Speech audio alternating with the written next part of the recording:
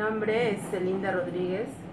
Eh, bueno, yo sufría del ojo seco y vine acá a la clínica y el doctor este, González me atendió y me recomendó este, poner animales y me, me, las colocó y bueno, para que estoy muy bien, me siento muy bien, que hasta me había olvidado de que sufría del ojo seco y estoy, estoy bien, gracias.